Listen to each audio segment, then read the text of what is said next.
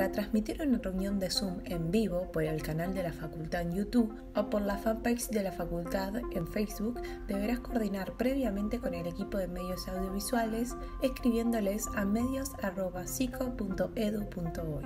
Desde allí te solicitarán verificar que la cuenta de Zoom a utilizar esté configurada para realizar transmisiones en vivo.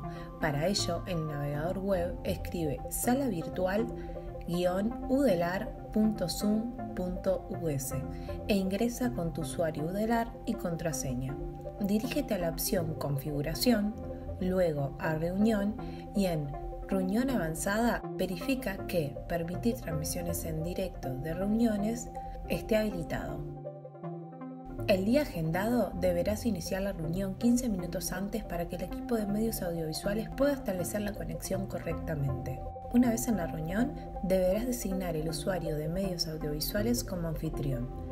Para ello, dirígete al menú Participantes, posiciónate sobre el usuario de medios, toca en el botón más de color azul y allí selecciona la opción Hacer operador o Hacer anfitrión.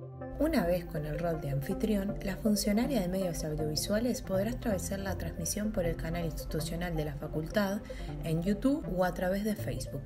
Establecida la conexión, la funcionaria de medios devolverá el rol de anfitrión a la organización del evento retirándose luego de la sala.